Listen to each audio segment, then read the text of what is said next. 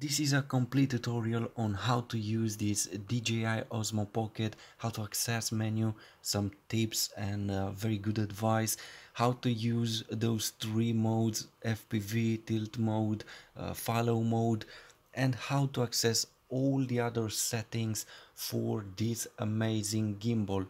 So, if you plan to buy this gimbal, this amazing uh, gadget or if you have it already then let me show you how to access all the settings and how to use this device at maximum potential. So everything is explained here from um, shortcuts settings and some uh, some great uh, advices for um, button button shortcuts and um, all kind of this uh, stuff. So let's start using this device. First of all you have to turn it on just press this, this button and in a few seconds everything is active. You have this touch screen and you can navigate uh, to various settings just by swiping from up to down down to up left or right on the screen. So you have four settings for the four screens for the setting for the settings.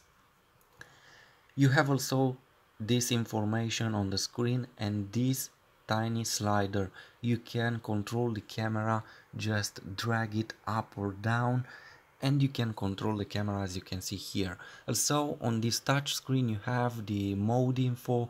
In this moment it's photo in the left also you have the battery and the SD card capacity. So swipe like this from the from um, up to down just like on Android uh, when you see notifications and you have these settings. Here you have uh, beautify mode activated activated or not like this. Swipe and you have these settings. You have the battery you have calibration option uh, you have the tilt control on off and also you have the possibility to choose the time interval uh, to power off this gimbal. Very very simple. Swipe again and you have information about your SD card. You can very easy format this SD card here just like this as you can see in a few seconds. Um, if you have accessories you will see them here and you will have some settings. Uh, also the flick anti-flicker screen 50 hertz or 60 depending on the light in uh, in buildings and some info about this gimbal. Uh, go back by sli sliding like this or press the one click on the on off button it's uh, acting like a back button. Uh, if you if you slide um, like this from the bottom to to up. You will have these uh, shortcuts they are very useful. First shortcut. It will calibrate your device. It will recenter the camera basically. Not calibration. Uh, it will recenter fast recenter your camera. Also a physical shortcut. Just double click the on off button and you will recenter it. The second shortcut it will flip it will rotate your camera also you can do this by triple clicking the physical button the on off button like this.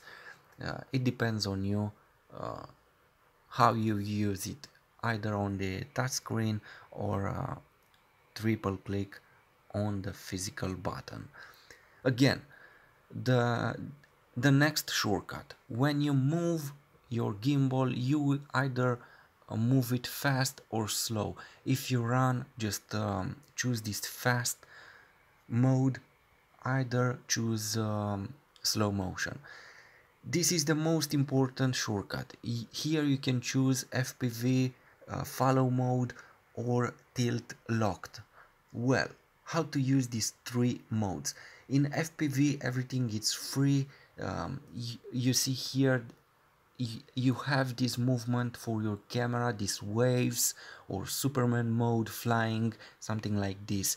If you choose follow mode you will be able to use your gimbal very very well.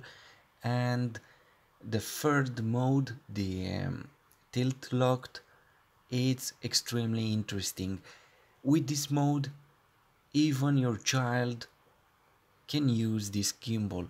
If you turn it in any position the camera will follow uh, will follow the the image.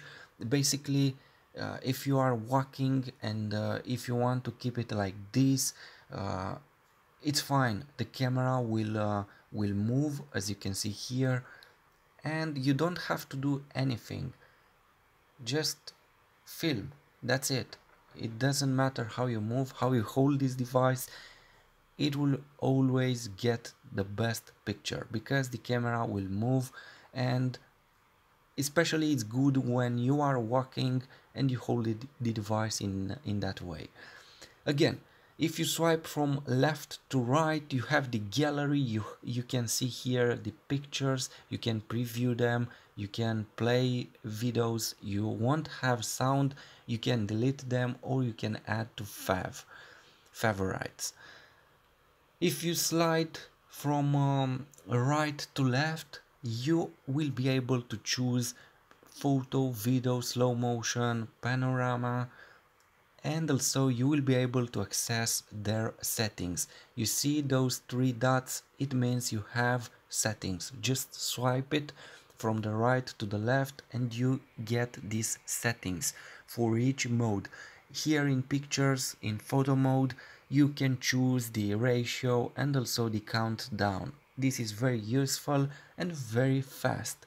Again in video you will get settings for uh, frames and resolution. You can choose 4k up to 60 frames or 1080p up to 60 frames. You will be notified here in the left about uh, your mode 4k now it's 1080p at 60 frames. Also you can uh, face track in your videos. Double click on the screen and it will automatically follow the face or the object object that is amazing. Also you can do that from your mobile app something like this. Just drag on the screen the area of interest and the camera will follow that area. Um, it's very very nice and unique. The next uh, mode, slow motion, you can choose 1080p up to 4 times slow motion, amazing videos, you have one on my YouTube channel. The time lapse, this is very interesting, you have two modes, time lapse normal and motion lapse. This is uh, a unique mode because uh, once you select this mode, you will have this screen, you see here 1 and 2, well, basically you can capture an area from uh, point one. All you have to do is to uh, select to move your camera physically and press the plus on the screen. After that move it to the end point and press 2 on the screen when you press the rec button on the gimbal the camera will automatically start from the point 1 and it will move to the point 2 during your video. So uh, your final result will uh, will uh, you will get a video from point 1 to point 2 the camera will automatic automatically move from the left to the right. Amazing also in panoramic mode you get two options. The classic um, 180 degrees panorama something like this classic and the 3 by 3 uh, basically here the gimbal will take 9 pictures at maximum resolution and will create a huge image a huge panorama. Let me show you. Press it and it will move something like this and it will take 9 pictures. That is many amazing and unique. And you'll have an impressive picture. Okay these are the settings. This is the screen. In this way you connect it to your uh, smartphone. You know it already.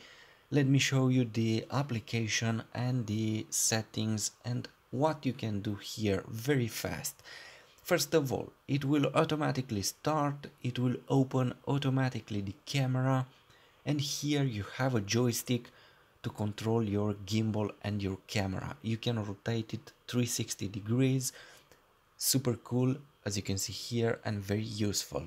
In the future I will buy a remote for this gimbal too because I think it's useful also you have if you have note 9 you will have space to get uh, your uh, your s pen as you can see here. Okay on the main screen you have this shortcut press it and it will flip your camera. Also uh, here you have the gallery. You can view your pictures videos. I don't have any of them in this moment. You can download them and so on. On the left of the screen you have the home button. To enter camera press here. The next shortcut it's uh, for follow mode slow mode or fast mode. You if you are work, walking or if you are running uh, and the three modes FPV free mode uh, tilt locked and follow. The next one it will let you to choose uh, the resolution for your videos and your frame rates. 1080p uh, 4k you can choose the quality fine or super fine. For uh, 1080p for example you can choose super fine at 30 frames per second. Here you can choose video format you can choose anti-flicker 50 hertz or 60 if you are filming indoor and your screen is flickering. Also you will have um, a pro mode here if you want. More settings just press this button and you have the classic one and some other settings. For example you can choose your balance your white balance cloudy day sunny day. Uh, I use it on automatic because it's great.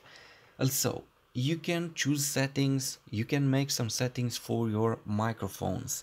You can choose low moderate or high depending on the sound. You will have to test your sound and choose whatever is best for you. I leave it on automatically. Also you can choose noise reduction or not. For me it's always on, it's great. Also you have on uh, uh, histogram, you will see the overexposure here or not. Uh, regarding focus mode, I will advise you to choose AFC, the first one, because it's it is automatically and continuous.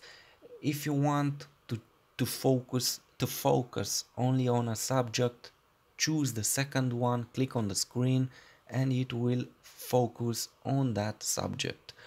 Here you have the modes panel videos photos uh, time lapse and so on. These are the settings. I hope um, this video is great for you and useful. Thanks for watching. Please like share subscribe. Thanks again